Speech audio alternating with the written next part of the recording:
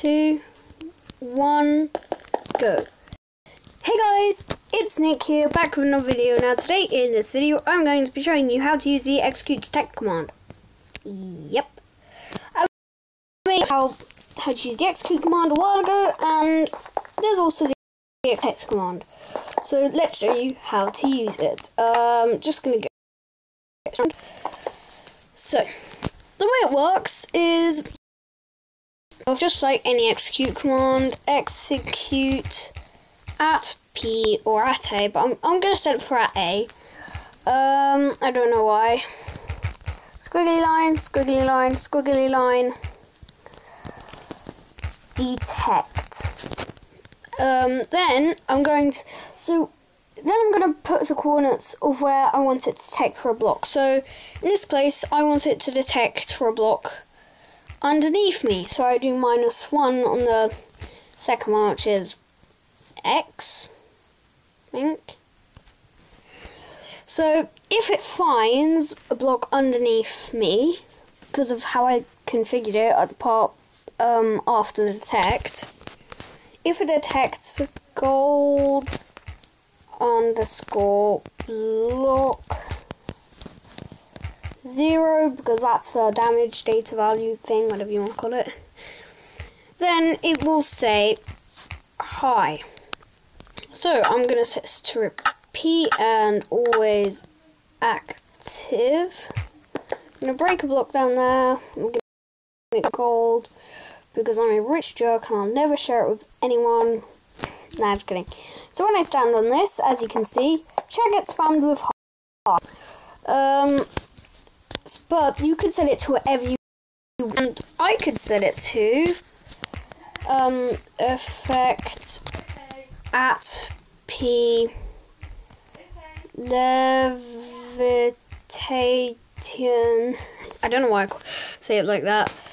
Um, levitation one one hundred. So where so what it's doing is it's testing if underneath me there is gold block, and if there is, it will give me levitation 100 for one second. And as you see, it is working like a charm. Um, this you you can set it to whatever you want really. If you have like I don't know red wall that kills you when you stand on it, you could that. It it really depends. It doesn't activate when you're next thing. And to prove that this is not a scam, nothing is underneath it.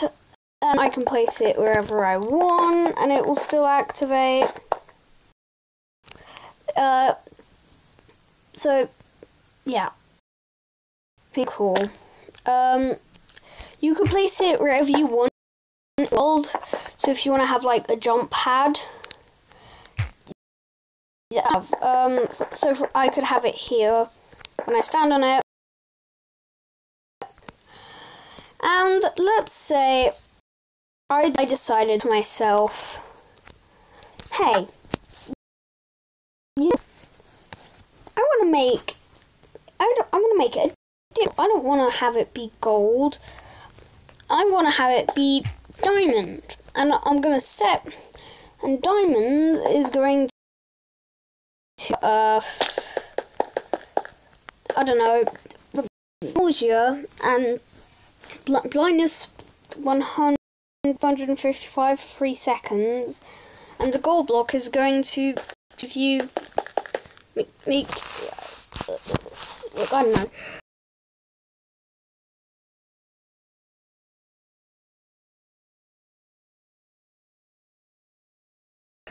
Cute at P. Squiggly line squiggly detect. Squiggly line squiggly line minus one whatever you want it to be really. You can also have it to detect if above you. There's a block or to the side of you. It's really up to you. You could just edit the part by detect. Um, diamond underscore block zero effect at p no uh, blindness ness three two five five. So this will also work. Um, it really just all depends. Yep, it, it, really depends. Customizable. You can set it to whatever you want it to be set to. Um, yeah, if you have a bad device, try not to stand on them. If you have a really bad device, then don't stand on them. Then I wouldn't advise using this command, but uh, you know, I'm going to try and decrease, no, I mean increase the amount of time.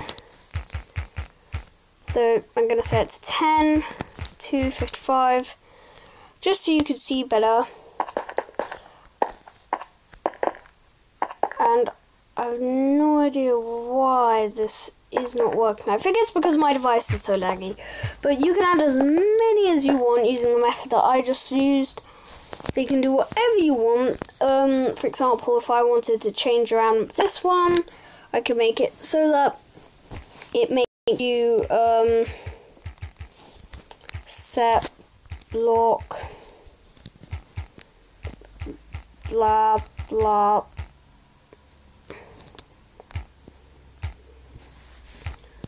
to blah dirt.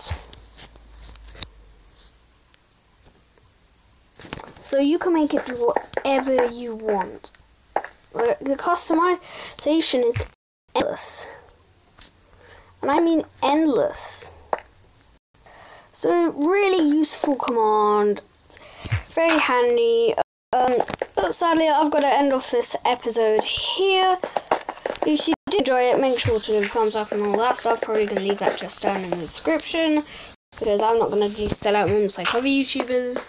Um, so, yeah.